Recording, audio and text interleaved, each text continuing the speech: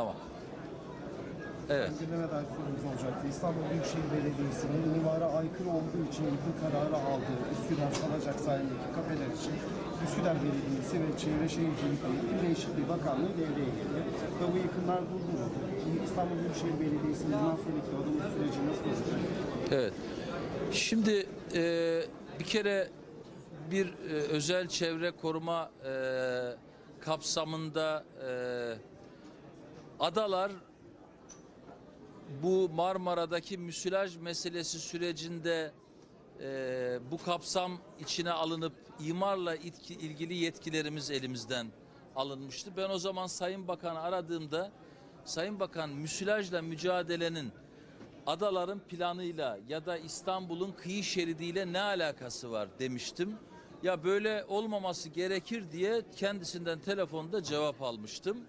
Sonra tabii yetkinin bu şekilde gasp edildiğini kendi de e, tespit edince ya bu konuyu konuşalım, uzlaşı içerisinde yönetelim, e, bunu mutlaka düzeltiriz zaman içinde diye bana beyan olmuştu.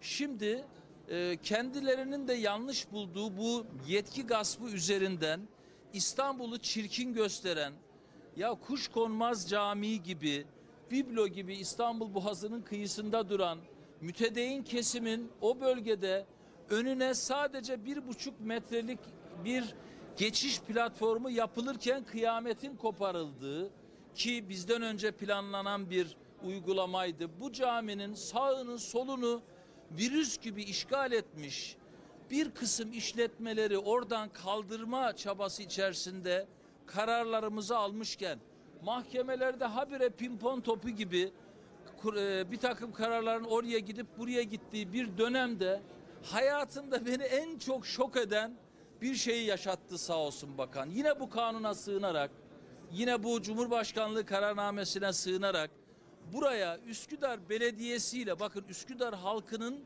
çıkarını korumakla yükümlü Üsküdar Belediyesi ile Çevre ve Şehircilik Bakanlığı bir plan yaparak gece kondu gibi İstanbul Boğazı'nın kıyısında işgalle yapılmış binaları imarlı hale getirmiştir. Ya bu Türkiye Cumhuriyeti tarihinde İstanbul tarihinde yapılmış en ayıp işlerden birisidir bakın. En ayıp. Düşünün gidin hava fotoğrafına bakın bu iş nereye sığar? Bunun anlamı nedir? Bunun faydası nedir? Toplumsal çıkarı nedir? Siz İstanbul'a hem bunu yapacaksınız hem de diyeceksiniz ki İstanbul'la ilgili dönüşümü, İstanbul'la ilgili depremle mücadeleyi biz başarırız. Hayır yapamazsınız. Bu iş amasız fakatsız yapılır. Bu iş sağ tarafı görme, sol tarafı görle yapılmaz. Bu işte prensipler tektir. Bu prensipsizliktir, tutarsızlıktır. İstanbul'a yapılan çok büyük bir ayıptır. Hukuki mücadelemizi elbette vereceğiz. Plana karşı duruşumuzu göstereceğiz. İstanbul halkının buradaki iki temel sorumlusu var o bölgeyle ilgili. Birisi Üsküdar Belediyesi, onun tepe e, üst çatısı olan İstanbul Büyükşehir Belediyesi. Siz İstanbul Büyükşehir Belediyesi'ni ortadan kaldırıyorsunuz.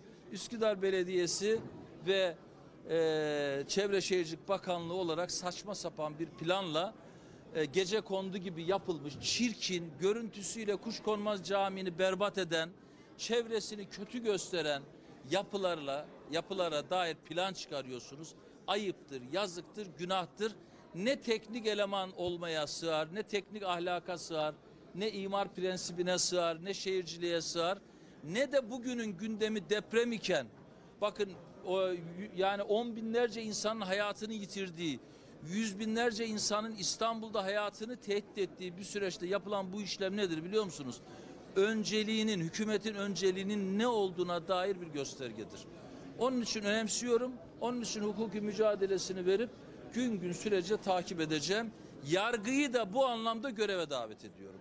Bizi oyalamasınlar. Bizi oyalamasınlar.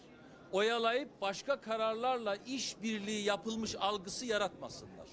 Onun için herkesi göreve davet ediyorum. Biz bu işi takip edeceğiz. Evet. Teşekkür ederim.